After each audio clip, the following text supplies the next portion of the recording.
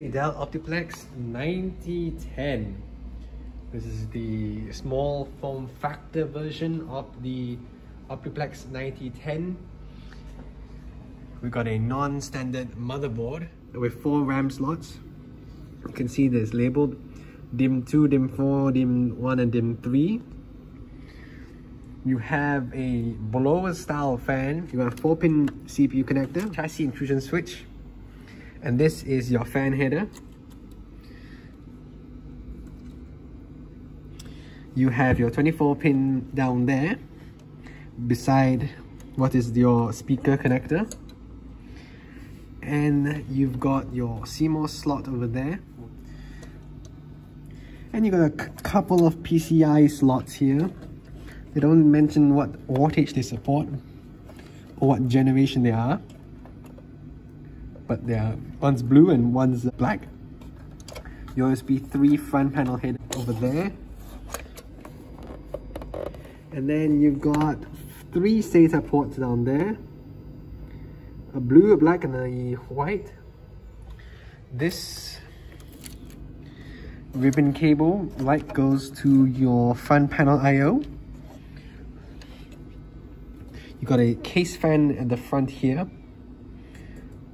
so I guess what happens with the CPU cooler is the air comes through this front fascia, blows air into these gaps, into the side, and this blower style pulls air upwards and out of the back of the chassis.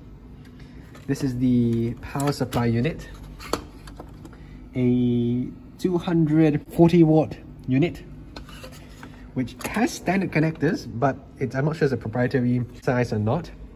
Speaking of the front fascia, couple of USB 3s, couple of USB 2s, couple of audio jacks, your power button which doubles up as your diagnostic LED, which is great for diagnosing when this computer has issues. The hard drive is, is on a little toolless caddy, which just basically Sorry. they hook onto the little protruding round things and you need to kind of push it down squishing it in the, the, the with the uh, power supply connector there. You can see that the power supply and then you just push this in or you pull it to lock it in place. And then this is your slimline optical drive which basically just slides in and locks in place. A both the optical drive and hard drive is toolless operation which is clever of design. The side panel is also toolless with one of these. Your VIO, you've got your power supply, couple more audio jacks, couple of USB 3s, you've got four USB 2s, couple of display ports, a VGA serial, and a couple of PS2s. You got your service tag as well as a, in both uh, barcode and in text uh, written form your regulation label at the bottom in addition to four rubber feet. And at the top, Windows product key, your service tag, and express service tag and manufacturing date. This is a 10-year-old system. At the back, formal rubber feet, so you can put it on the on its on its side, like what I've just done. And you've got your hard drive activity LED there.